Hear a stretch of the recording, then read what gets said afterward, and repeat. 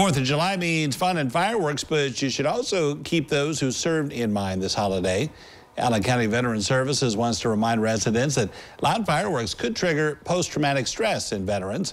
It's important for you to check with any vets that may live nearby and communicate with them if you plan on setting off those fireworks. People should be mindful of um, the fireworks and things because you just don't want to trigger veterans or trigger people that suffer from some of the post-traumatic issues, suffer with the post-traumatic issues.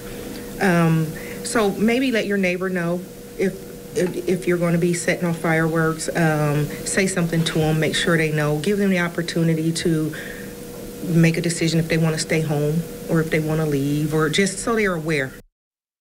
Signs are available for pickup at the Allen County Veteran Services Commission's office, which is located inside the Allen County Courthouse on the first floor.